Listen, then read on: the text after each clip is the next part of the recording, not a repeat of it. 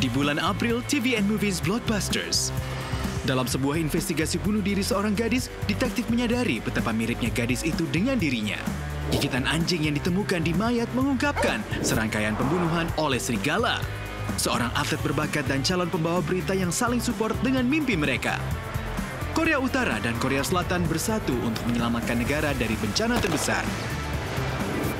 Catat tanggalnya setiap Sabtu di TVN Movies.